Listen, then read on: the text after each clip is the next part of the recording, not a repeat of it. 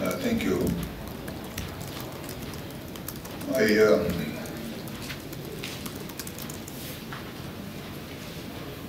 being uh, to this part of the world, to, uh, to this climate change conference, and hearing what the government of Canada has to say about, about climate change, I'm uh, kind of insulted of Mr. Kent's remark that he's proud of the tar sands. Uh, Canada is regarded as a, as a beautiful country. It is a beautiful country. I live by the second largest park, national park in the world, Wood Buffalo National Park. It houses the largest free roaming herd of buffalo. It also has the whooping crane that is right in the flight path of the tar sands. The Peace Athabasca Delta is one of the largest freshwater deltas in the world. We live in the second largest migratory bird route in Canada.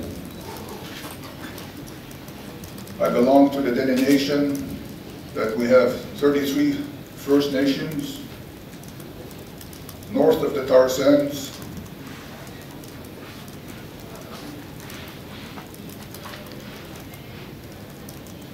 This government that's in place right now, Mr. Stephen Harper's government, is doing everything with his government to destroy this natural beauty the Dene have lived for thousands and thousands of years. Mr. Harper and his government are spending millions and millions of dollars in the United States lobbying in the support of building pipelines through the states, expansion through the BC. The Dene Nation, the people in the north had numerous and numerous of conferences dealing with water. We have called on the government over the years to put a moratorium on the expansion of the tar sands.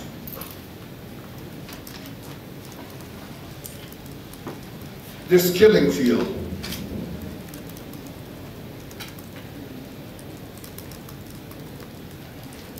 killing people in Fort Chip.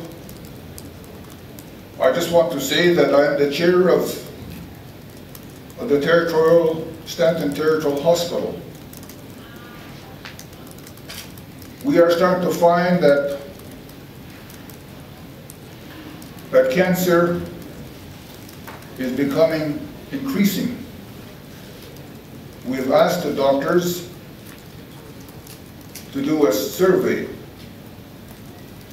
and stomach cancer is the highest in the north opposed to what nationally it's the third.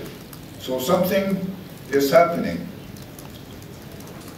The doctors do not want to tell us that it's related to water, but it is related to water.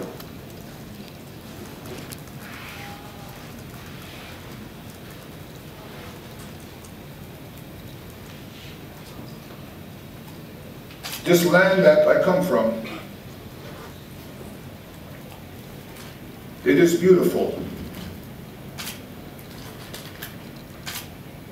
This Wood Buffalo National Park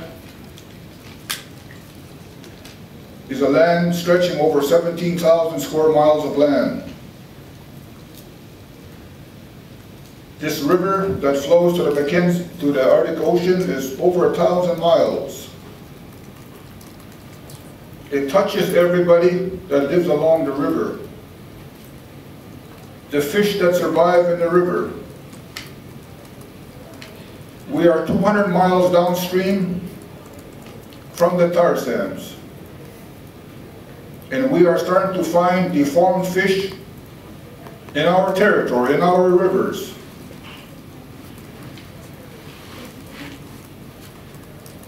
Canada does not have a plan for the tar sands. Canada does not have a plan for water. There is no plan for what to do with water.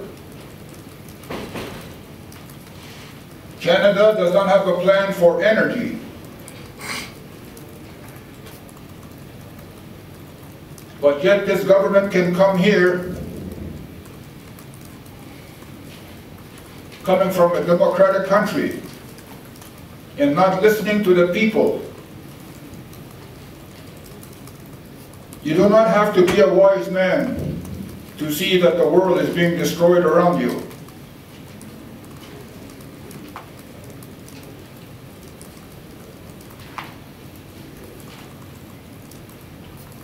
Yes, these people, these two, and more of them, to make the point, yeah, these people are not worth a hundred billion dollars. They are worth nothing. If they continue to destroy the land that belongs to all people in Canada, and particularly the indigenous people that live in the territory to survive on the land. The tar sand produces a third of, up to a third of the green gas emissions. The woodland caribou are now put on the endangered species list, and they are blaming the wolves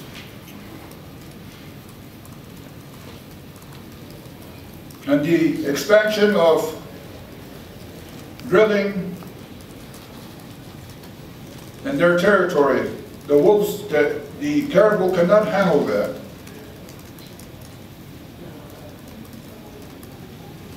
And a minister just recently, a Minister Oliver, recently made an announcement, made a press release that this land is uninhabited. Where is this guy coming from?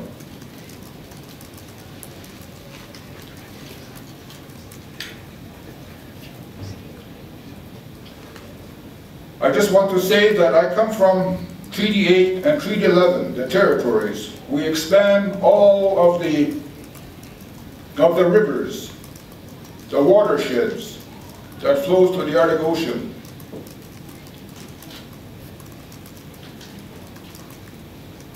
The treaties is what binds indigenous people in Canada. We have answers of how to live together. We have answers of how to create an economy that is balanced. But this government is not listening. Yet just recently, unilaterally, declared that we are no longer indigenous people. They've changed the name to Aboriginal people. I don't like that. So I just want to say, I'm glad to be here. I'm glad to say that this country that I live in is beautiful, and it's still beautiful, but if these two cowboys here continue to do what they're doing, the country is not going to be what it is. Very short time. So I just want to thank uh, the organizers for asking me to come here. Masi